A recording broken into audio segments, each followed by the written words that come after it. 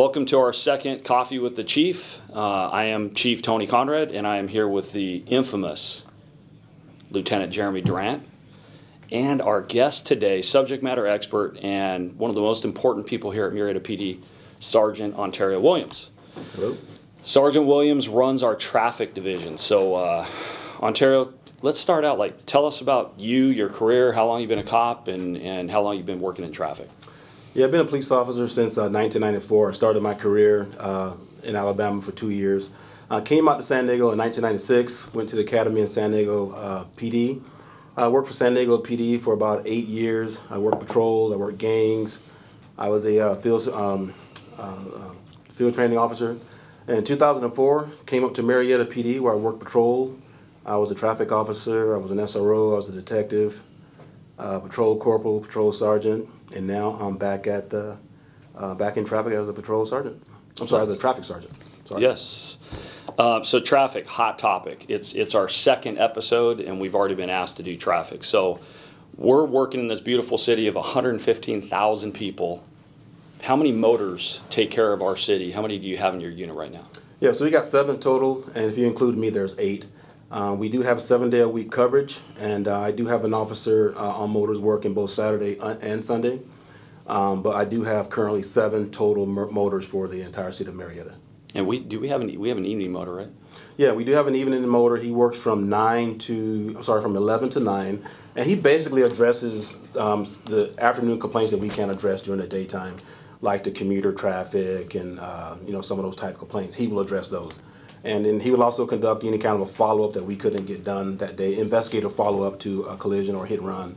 And uh, that's primarily his role is to supplement the day shift officers with um, evening enforcement and work.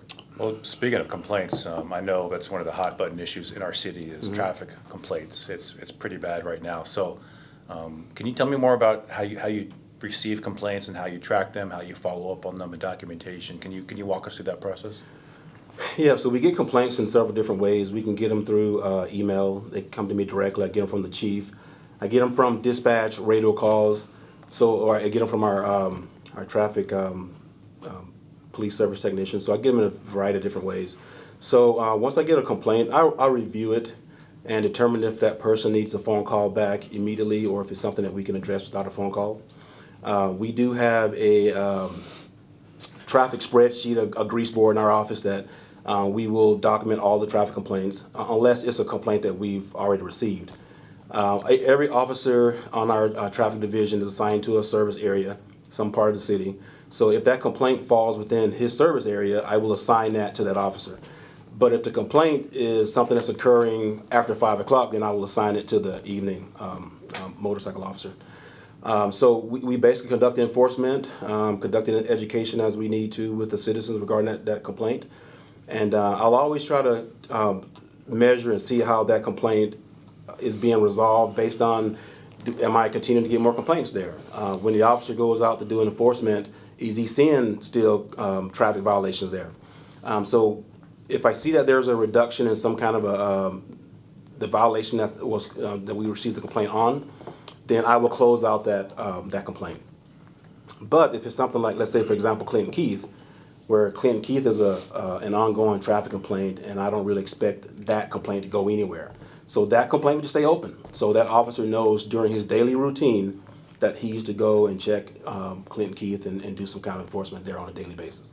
Well, when our citizens are calling in traffic complaints, what, what's the most important information you need from them in order to do an effective uh, follow-up by your motors? What facts do you need to make it a good, good, good uh, complaint process? Yeah, so we'd like to have a good description of the vehicle, uh, a good description of the driver if they have it, uh, a license plate, and if they can get on video, that's even better. Uh, but yeah, those are some basic uh, things that we could would help us to locate this car. Uh, with the license plate, because we send out um, traffic letters to, to owners of vehicles. So if they do get a license plate, uh, we can send out a letter to the owner of that car, basically putting them on notice saying that, hey, your car was in Murrieta at this date and time, and we, a citizen or someone, observed a certain type of driving. And that letter, letter would put them on notice, notice about that.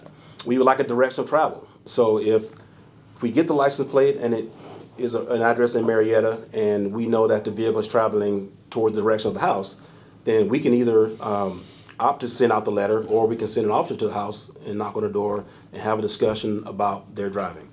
But if they're obviously going away from where the registered car, is, we, we wouldn't, we would just do a traffic letter or just um, check the area for that vehicle. Okay.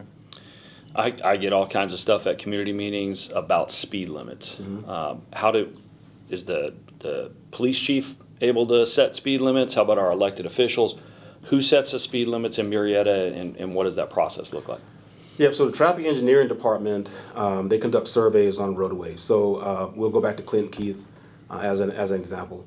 So there's a stretch of Clinton Keith where um, a citizen or someone believes that the, the speed limit is too high or is too low.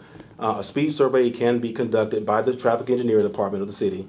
Um, the police department, the chief, neither I, we don't set speed limits and we don't install signage for those speed limits. So there is analysis that needs to be done by the uh, traffic engineer. Uh, we take the 80, well, he, they take the 85th percentile, which is basically 85% or the majority of the people are driving at a certain speed. And with that analysis, they take that and, and, and recommend either the speed limit stay the same or the speed limit can go up or it can go down. Um, so that's how a speed survey works when it comes to speeding in cities in the areas of Murrieta. Now, uh, residential areas, there's no need for a survey. Residential areas, it's uh, 25. That's the basic speed law for residential zones in Mary in um, the state of California is 25. So you would not need a speed survey for a street like um, I don't know uh, Brandwood out on the east side of town. Like you wouldn't need a survey for that because it's a residential zone. Okay. All right, more of a fun, just kind of interesting question for me. So Okay. when you were a motor, before you were a sergeant, you were first one out of the barn, last one in, writing cites all day long. Now you're a sergeant. Yeah. And you have seven officers working for you. How many cites do you write as a sergeant? Like, how, how does that work? What other duties do you have? Yeah, I got a lot of duties. I got a lot of things on my plate. Uh, I, I do special events. Uh, I obviously manage the traffic division. I approve all the reports. I manage all of the fatal investigations in our city. So, with a lot of the different hats that I wear, uh, I really can't afford to spend a whole lot of time in court. So, I do do a lot of enforcement, but I personally don't write a lot of tickets myself. Uh, I go into more of an education mode. So I'll observe a violation, I make the traffic stop, and I educate the driver, uh, make sure they understand what they did wrong, and then I, I usually will uh, give a, a warning. Okay, interesting. Um, I know another big issue in our community is traffic uh, around schools, uh, especially when uh, you know schools start for the semester and they end at the end of the year. There's a lot of uh, a lot of unsafe driving that gets reported to us, and obviously we take the safety of our citizens very important, and especially our, our children. Can you uh, tell me what the what the traffic bureau does to address complaints around the schools? Yep, so just like this service area, uh, each motorcycle officer is assigned to a school. Uh, actually, they're assigned to multiple schools. So, uh, I mean, look at we have 18 um, schools in our city. I've got seven motors, uh, really six if you don't include the evening motor. He's not assigned to any schools because he doesn't come in until 11. So, uh, the six motors are assigned to 18 schools, and they each have about four schools that they have to monitor um, um, themselves. Now, the evening uh, officer, I, I will, I, I kind of have him as a rover. Um, if the officer is too busy doing something else for his school or, or away from his school, then that extra officer, the roving officer, will uh, patrol his school. So uh, they do. I obtain a complaint from schools, which I often I get those quite a bit. Um, I will assign that complaint to that officer who's assigned to that school, and he will go out and, and monitor the, the driving around the school. Um, I also have that officer will meet with the administration at that school to help try to figure out how can we resolve some of the traffic conditions around certain schools. Uh, some of the schools are pretty, they're dialed in to where we don't have a whole lot of problems, problems. But we do have some schools that we're still in, trying to address some of the issues come out of COVID-19. Uh, there's some schools that are, that are most likely still on some kind of a modified COVID pickup schedule uh, where parents may not be allowed to come onto campus just yet. So that creates a backup. So we're trying to address things like that and try to get a resolve uh, to help promote the flow of traffic around the schools during the, the start and the pickups for the schools. So we, we definitely have more schools than we have officers, so it's kind of on them to make sure they get around as, as best they can. Yeah, um, I do. I do encourage people. Um, if you're not around a school to pick up a, a child, to, if you can, to avoid the area. It- It'll it'll it'll relieve you of a lot of frustration. Uh, for example, if you know that a school is letting out at three o'clock and and there's alternative routes to where you can bypass that school, um, I do encourage non-parents to maybe take a different route. That way, they won't get frustrated with being stuck in school tra- school traffic, and of course, that gets followed followed up with a call to me about traffic complaints around the school. And it's usually parents who are not there to drop off a kid. Good, good It's people who get stuck in traffic there. All right, so even when a motor gets behind me, I get I get nervous, right? Especially motors. I don't know what it is I do about. too, You still. do? All right, so I just got to know, like, when you guys go to motor school, is there something they teach you at motor school? How you never smile? It's all business, and, and that's that's why we're all so nervous when you get behind us. How's that work? No, that's exactly what they teach. They teach us to, they teach us to be, uh, you know, no emotions, to wear our, our glasses with the mirrored sunglasses. That you remember Nice. seeing um, Oh, CHiPs totally back in the day? Yes. So that's part of the motor school is that we have to put that face on, and we want to be uh, people to be afraid of us, so they'll not commit violations in our presence. Yeah. I know you're kidding, but in, in all I'm not seriousness, in all seriousness, when, when you are stopping someone, it's, I mean, it's, it's potentially a negative interaction Yeah. because you're stopping them from them breaking the law. So um, they would be at an increased nervousness level. So I'm sure Yeah. it, it really behooves you to maintain a calm composure, even in the face of them maybe getting excited to de-escalate. Yeah, all jokes aside, we, you know, we try to be fair to people. You know, our, our goal isn't to go out there and just, you know, write people's tickets and take money out of their pocket. That's not our goal. Our, our goal is, is to reduce traffic collisions and to do what we can to get people to obey the speed laws. Um, so, and if we have to do that with writing uh, an occasional citation, then we, we do that. But our goal is never to, you know, punish someone because they're speeding. It's because your your violation was so egregious that you need to go to either traffic school or go in front of a judge to, to help mitigate your, your behavior. You're a danger to the community, danger Absolutely. to everyone else. So you're trying to increase the safety of the community as a whole. Absolutely. And you know, both of you and I worked at San Diego PD, and, and in a larger city like San Diego, the motor is pretty much just right cites. Um, here, though, tell me a little bit about all the responsibilities your motors have other than writing cites. Like, do they go to radio calls? Do they investigate serious crimes? You know, serious traffic collisions. What else? What else is on their plate? Yep, so aside from um, conducting enforcement, obviously they have to work their schools. During the daytime when our motors are working, we handle the majority of um, the traffic collisions in the city. Uh, we, we handle everything from um, parking complaints to um, uh, disabled motorists um, to just assisting patrol with any kind of priority type calls.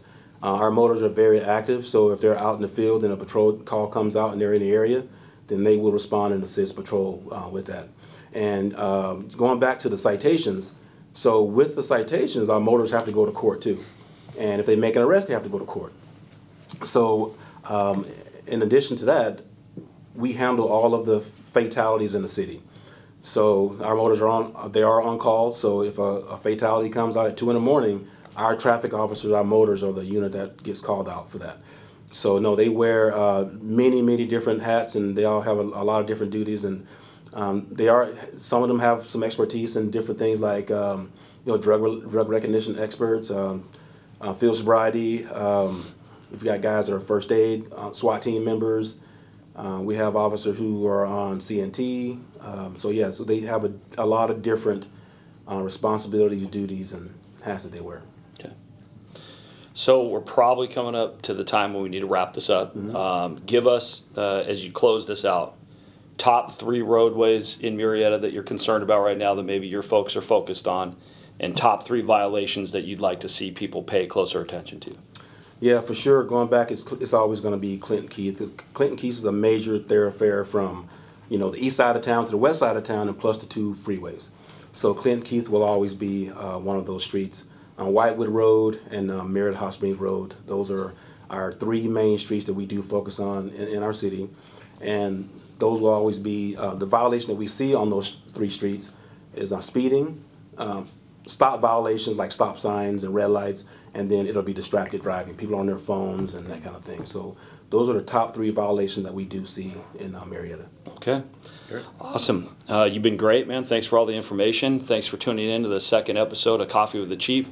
We're going to push another one out uh, with our comm manager, Casey Bostrom, running one of the busiest comm centers uh, in southwest Riverside County. So look forward to seeing that very soon. Thank you. Bye.